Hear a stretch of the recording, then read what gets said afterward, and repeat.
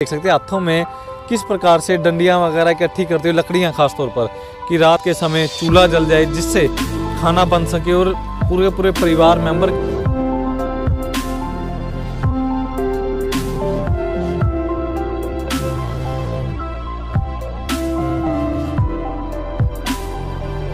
Member की अगर मैं बात करूँ, चाहे दो, चार छः जितने भी मेंबर होंगे इनके घर में, ये कहीं ना कहीं मन में रहता है कि बच्चों के भी, कि ढेर सारी लकड़ियाँ वगैरह, डंडियाँ इकट्ठी कर कर ले जाना।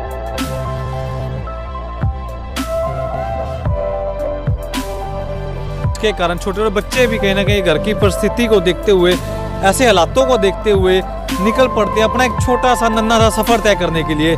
ठीक सामने भी दिखाना चाहूँगा पूरी पूरी मंडली है बच्चों की।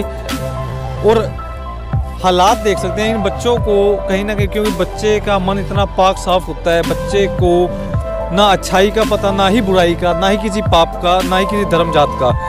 पर बच्चे करे तो करे, क्या बच्चों को अभी समझ नहीं है कि आने वाले फ्यूचर में, समय में कैसी दुनिया है, कैसे समय व्यतीत होगा, किस प्रकार के हालात खड़े हो चुके हैं हमारे माँ बाप के कारण कहीं ना कहीं, या माँ बाप के साथ भी। पर आने वाली जो एक पीढ़ी होती है, मान लीजिए छोटे छोटे बच्चे हैं वो किस प्रकार से बढ़िया जीवन व्यतीत करे मेरा कहीं ना कहीं एक सवाल था। जनता से जनता बड़ी समझदार है सकुशल है सबसे बड़ी बात। क्योंकि हर चीज़ का तोड़ जोड़ निकाल कर ही जवाब का आंसर देती है। एक सवाल था मेरा छोटा छोटा सा कहीं ना कहीं आप लोगों से कि ऐसे ऐसे बच्चे मान लीजिए कहीं पर भी देखने को मिलते हैं भारतवर्ष किस प्रकार से डंडियाँ वगैरह इकट्ठी करते हुए लकड़ियाँ खासतौर पर कि रात के समय चूल्हा जल जाए जिससे खाना बन सके और पूरे पूरे परिवार मेंबर की मैं बात करूँ, चाहे दो, चार छः जितने भी मेंबर होंगे इनके घर में, ये कहीं ना कहीं मन में रहता है कि बच्चों के भी, कि ढेर सारी लकड़ियाँ वगैरह, डंडियाँ इकट्ठी कर कर ले जानी है, जिससे आग जला सके और घर में रात के समय रोटी पक्ष के चूल्हे के ऊपर।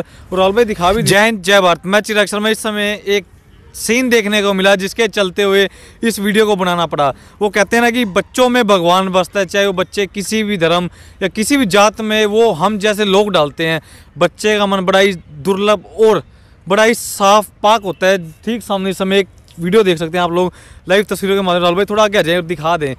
देख सकते हैं, छोटे छोटे बच्चे अगर मैं बात करता हूँ, गरीब घरों के, जिनके माँ बाप झुग्गी बस्तियों में रहते हैं, रोज़ाना मर्रा से घर कमा कर चलाते हैं माँ कहीं ना कहीं मान लीजिए किसी के घर या कोठियों में काम करती है, बाप मान ले अगर बाप की अगर बात करें तो बाप भी कोई छोटा मोटा काम करते हैं, पर फ़िलहाल छोटे बच्चे देख सकते हैं, हाथों में किस प्रकार से डंडियाँ वगैरह इकट्ठी करते हुए लकड़ियाँ खास तौर पर, कि रात के समय चूल्हा जल जाए जिससे खाना बन सके और पूरे पूरे परिवार मेंबर की अगर मैं बात करूँ, चाहे दो, चार छः जितने भी मेंबर होंगे इनके घर में, ये कहीं ना कहीं मन में रहता है कि बच्चों के भी, कि ढेर सारी लकड़ियाँ वगैरह डंडियाँ इकट्ठी कर कर ले जानी है, जिससे आग जला सके और घर में रात के समय रोटी पक्ष के चूल्हे के ऊपर।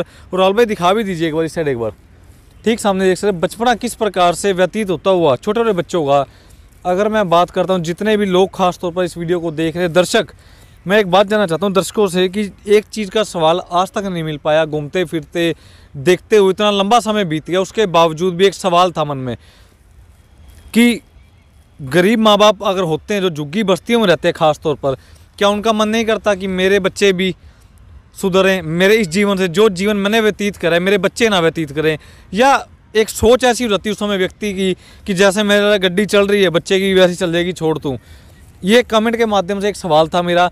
ये ज़रूर जनता जनार्दन बताइए कि आपका क्या माना बेसिकली होता क्या है? कारण क्या है? हर बंदे की अपनी अपनी सोच है, घर में पाँच मेंबर है और पाँचों की अलग अलग सोच है। उन सोच के हिसाब से बताना, पर लकड़ियाँ देख सकते हैं। इस प्रकार की लकड़ियाँ इकट्ठी करते हैं, जनाब, ये देख सकते हैं फ़िलहाल। मैं दिखा भी देता हूँ आपको, ऐसी लकड़ियाँ, ताकि घर में चूल्हा जल सके, खाना बन सके, जिसके कारण छोटे छोटे बच्चे भी कहीं ना कहीं घर की परिस्थिति को देखते हुए, ऐसे हालातों को देखते हुए निकल पड़ते हैं अपना एक छोटा सा नन्ना सा सफ़र तय करने के लिए। ठीक सामने भी दिखाना चाहूँगा पूरी पूरी मंडली है बच्चों की, और हालात देख सकते हैं। इन बच्चों को कहीं ना कहीं, क्योंकि बच्चे का मन इतना पाक साफ़ होता है, बच्चे को ना अच्छाई का पता, ना ही बुराई का, ना ही किसी पाप का, ना ही किसी धर्म जात का।